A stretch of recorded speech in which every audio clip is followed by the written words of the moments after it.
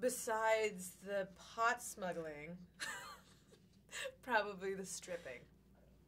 I think that probably the uh, I like mm, I like that it that it didn't start with a family that had to break up and come together again. It actually started with like you know four complete. It, it was it's literally just the making of a family, a non-traditional family in any way, which I can't believe. It's a feat that I can't believe that they pulled off.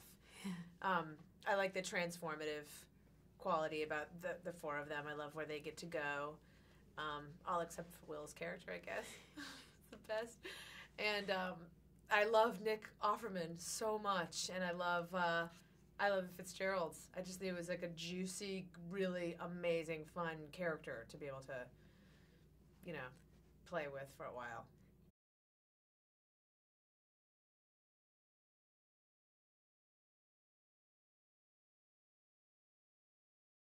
I know. I, I said that. I realized, like, I wonder how many of my relatives are going to email to me be like, "Who do you think you're talking about when you say Edie Fitzgerald was based on a family member?" But there's, I think I had like four. There's a there's a bunch of women, either in my my family or, you know, schools, school events on the weekends where there would just always be someone coming with, you know, more food to put on the picnic table. Just w- warm, awesome, you know, open bosom, just like a kind hearted cook that was excited about starting a party. Social, oversharer. Qualities I have that do not in any way coincide with me, as you can tell from this interview.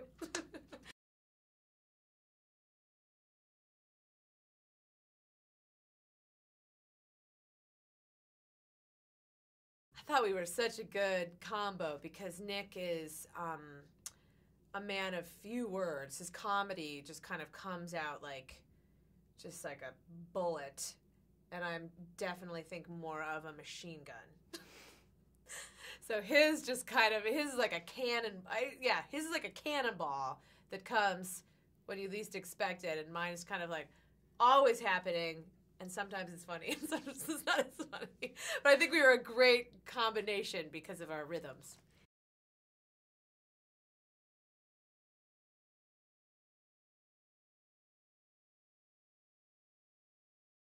Yeah, this was.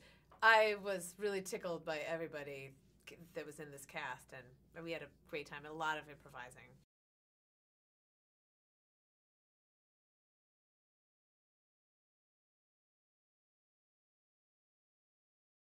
We were allowed to go kind of wherever we wanted. So that was and that was an amazing feeling just to be able to jump off the cliff into like, you know, the comedy abyss and just hope that it was funny somewhere at the bottom. It was fun.